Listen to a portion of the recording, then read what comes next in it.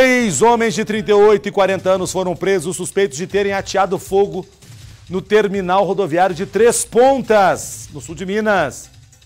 Imagens de, câmera de uma câmera de segurança registraram o momento em que o local estava em chamas. Esse crime foi na última segunda-feira, de acordo com a Polícia Militar. O fogo teria sido colocado por volta de 3 horas da manhã, num colchão que fica ao lado de um depósito de materiais de limpeza. Parte de uma porta e da parede do cômodo ficaram danificados. Os homens foram identificados e confessaram o crime. Eles contaram para a Polícia Militar que usaram um isqueiro para provocar o incêndio depois de terem sido desafiados por um outro rapaz que não foi encontrado. Com um dos suspeitos foi encontrada uma faca.